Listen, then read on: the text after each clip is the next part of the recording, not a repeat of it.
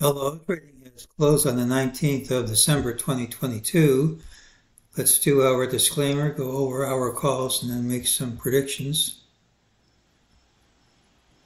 It's my trading plan for the 20th of December 2022.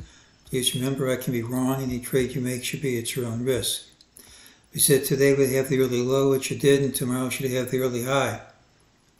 The call was a miss. We thought unless we gapped under these lows, we should see higher prices. We saw higher prices for under five minutes, and that's not enough for me, so we'll just call it a miss. Nothing works every time. These green lines are prior FOMC announcement prices. You can see how we keep hitting these lines and finding support there. MEJT doesn't think much of today's action. It said this rally would retrace. It was false, it retraced. Now says this drop is going to retrace, giving us a target of 38, 34, 55. Said the afternoon move down is going to retrace to 38, 26, 92. We did get a buy signal, but it has a target, and that minimum target printed immediately when there's a signal given to buy, the drop coming this soon. It's never going to work. It's going to retrace. Daily chart shows us under the Bollinger Band here. We shouldn't stay there very long, regardless of how bad today's action looked.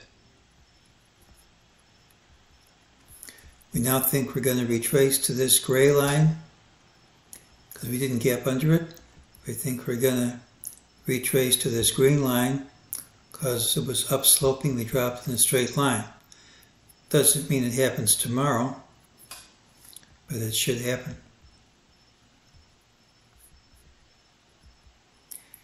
Here's our account.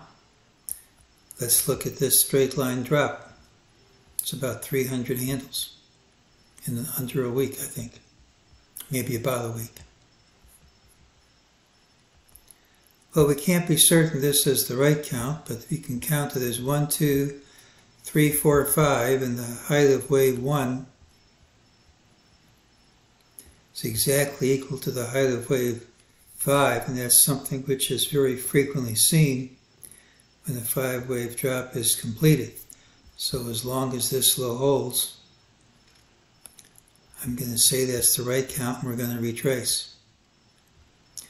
We have our targets 38, 34, 55, 38, 26, 92. As always, you get down sharply and it kills the call, but I think they're reasonable numbers.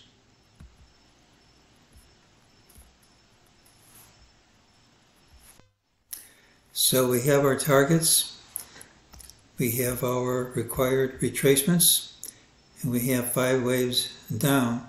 So if we don't get down smartly, I think we're going up. Tomorrow has the early high, and that's today's call.